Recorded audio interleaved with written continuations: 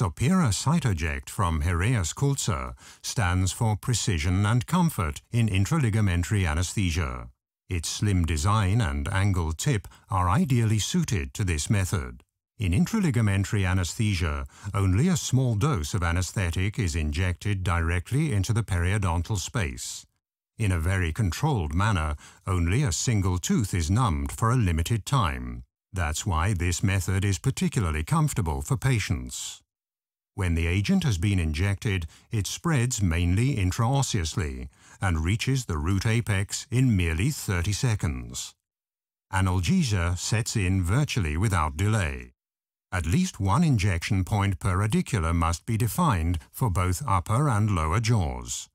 The injection point is always located close to the dental neck. The injection is performed at an angle of 10 to 30 degrees using a needle with an extra short bevel. Specially designed syringes like the Sopira Citoject make it much easier to overcome the interstitial resistance in the dense desmodontal tissue. For the anesthesia to be gentle, it's important to press the plunger extremely slowly.